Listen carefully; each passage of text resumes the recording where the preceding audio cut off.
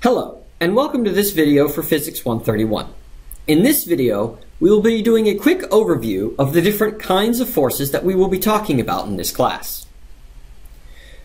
If you look around you, it may seem like there's a huge number of forces in the world around us. Frictions, pushes, pulls, air resistance, whatever force causes you to float, all of these different forces.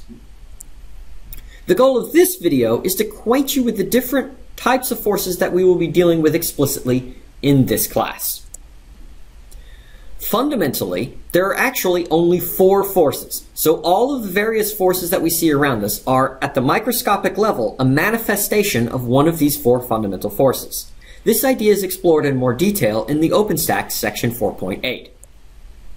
In order of strength, the four fundamental forces are the strong nuclear force, which is responsible for holding the protons and neutrons in nuclei together, the electricity and magnetism forces, which you may have some familiarity with from the idea that opposite charges attract and like charges repel, and from playing with magnets. There is also the weak nuclear force, which is responsible for radioactive decay. And then the weakest of the four fundamental forces is gravity, which you have some experience with as it's the force that holds you to the Earth and holds the Earth in orbit around the Sun. We will not be exploring the strong nuclear force and the weak nuclear force at all in this class. While these forces are very important, their range is limited to sizes smaller than an atomic nucleus, and so don't have visible, measurable effects at our everyday scales. Gravity, on the other hand, we will talk about in some level of detail.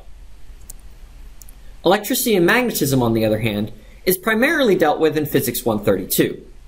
However, I do expect you to have the basic understanding that opposite charges attract and like charges repel, because this is fundamentally the origin of the non-fundamental forces that we will discuss in this class. So what non-fundamental forces will we discuss in this class?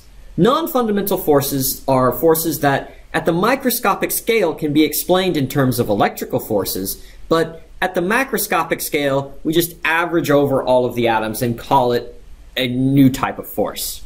For example, the normal force. The normal force is probably best understood by setting a book on top of a table. The gravitational force pulls the book down. Why doesn't the book just fall through the table? Well, there is a normal force from the table on the book to counter this force of gravity. At the microscopic scale, this normal force arises from the repulsion of electrons in the book to the electrons within the table. So at the microscopic scale, this force is electrical. However, at our macroscopic scale that we deal with in our everyday world, we're averaging over all of these different atoms and just calling their net effect a normal force. One characteristic of the normal force is that it's perpendicular. It's always perpendicular. In fact, the word normal means perpendicular in mathematicese. So in mathematics, the word normal and the word perpendicular are really just synonyms. This can help you remember the directions of the normal force. Another non-fundamental force we will discuss in this class is tension. Tension really arises when you start to have ropes and chains and that kind of a thing.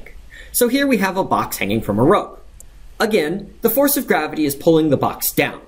What keeps the box from falling? There is a tension in the rope that is countering the weight of the box, holding it up. Again, at the microscopic scale, the tension force arises from electricity, as the atomic bonds, which are electrical in nature, between one molecule of rope and the next, are really responsible for this force of tension. We'll also discuss forces involved with springs, such as big metal coils that you might have had some experience with. So when I compress a spring, the spring exerts a force back outward as it tries to re-expand. So this, you can imagine your hand compressing the spring. The spring would be pushing outward in the direction of this blue arrow when it is compressed. Conversely, if I stretch the spring, the direction of the spring on your hand would then be in the opposite direction as the spring tries to pull itself back to its rest length. The final set of non-fundamental forces we will discuss are frictional forces.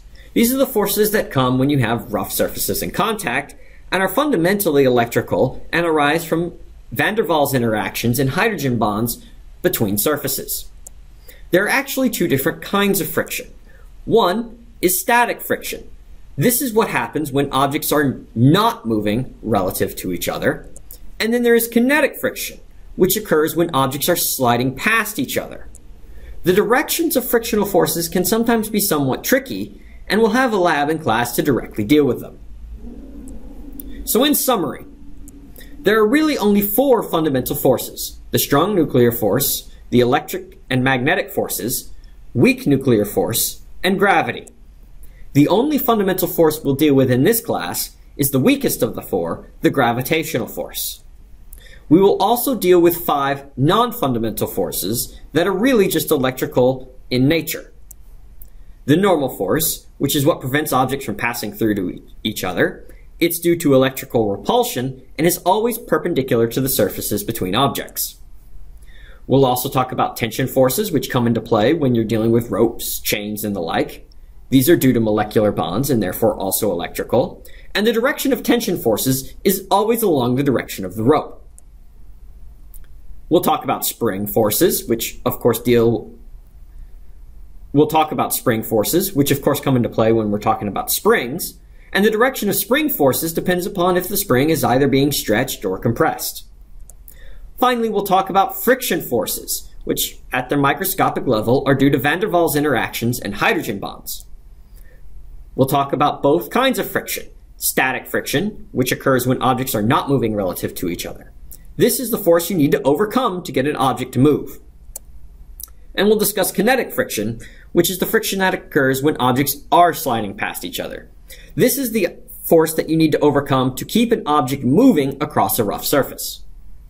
This concludes this video.